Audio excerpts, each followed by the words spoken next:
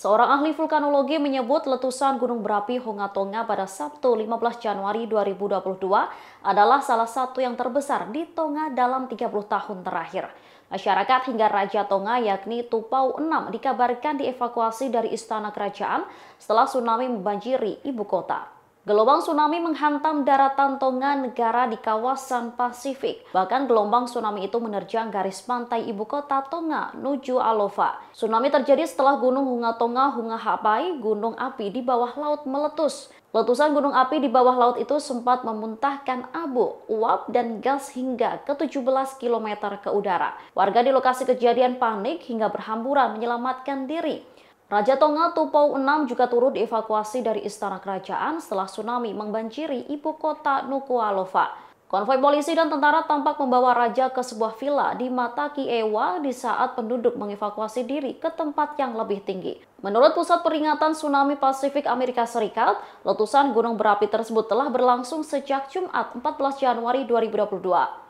Profesor Sam Cronin, seorang ahli vulkanologi di Universitas Auckland, menuturkan bahwa letusan itu adalah salah satu yang terbesar di Tonga dalam 30 tahun terakhir. Sen menyebut letusan gunung berapi Hunga Tonga Hunga Hapai kali ini juga sangat cepat.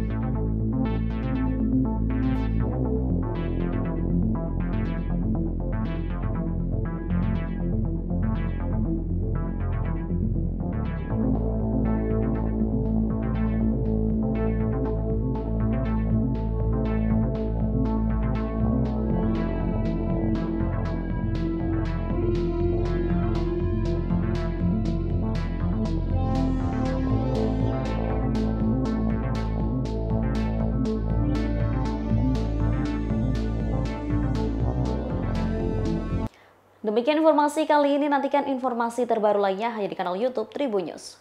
Terima kasih sudah nonton, jangan lupa like, subscribe, dan share ya!